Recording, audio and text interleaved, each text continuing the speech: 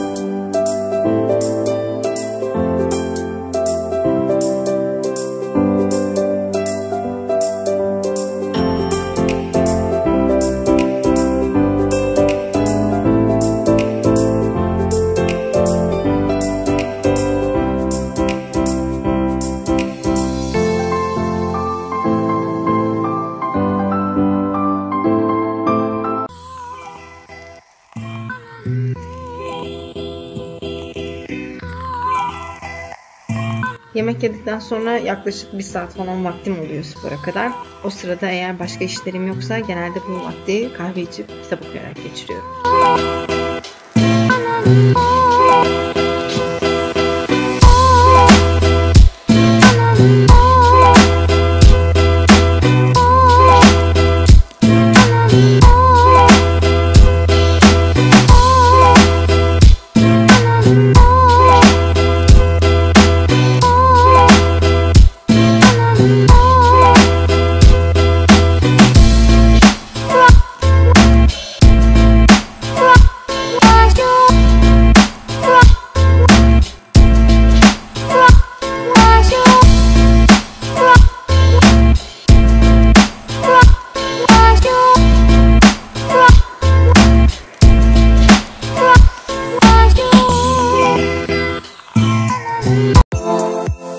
Ben yaklaşık 3 yıldır yoga derslerine gidiyorum.